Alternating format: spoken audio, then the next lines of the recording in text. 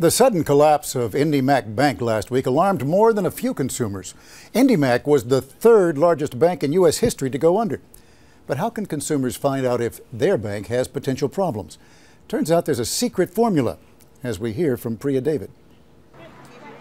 We've been here since 4:30 in the morning. Have you? The surprise failure of IndyMac Bank last Friday has many Americans wondering about the health of their own banks. The economy has slowed down and it has caused problems for some banks. The Federal Deposit Insurance Corporation, which oversees the nation's 8,500 banking institutions, is reportedly watching 90 additional banks. But some Wall Street analysts, using a little known formula called the Texas ratio, say as many as 150 financially strapped institutions could fail over the next 18 months. The Texas ratio is calculated by dividing the value of an institution's bad and delinquent loans by its cash on hand plus money set aside to cover loans that go bad.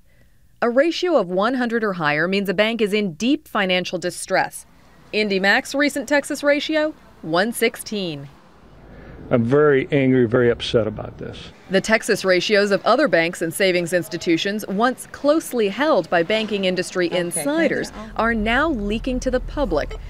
CBS News has obtained a list compiled just last month of 50 institutions, many with ratios higher than IndyMac's.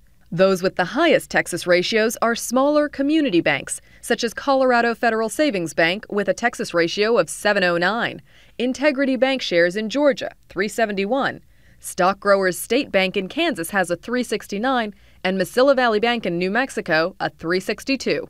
If you are a shareholder, if you are a borrower who wants, you know, uh, future loans, then you would be concerned. But for most customers, there's no alarm for uh, consumers out there with money in community banks. Mirsky points out individual deposits up to $100,000 are insured. So if a bank fails, most consumers' accounts are protected. Certainly, the consumer has a lot of things to worry about these days, but one thing they don't have to worry about is their insured deposits in those community banks but only to a point. That $100,000 per, is per person. So if you have more than that in any account, it's best to move some of it to a different bank to protect your assets. Good advice. Priya David, thanks very much.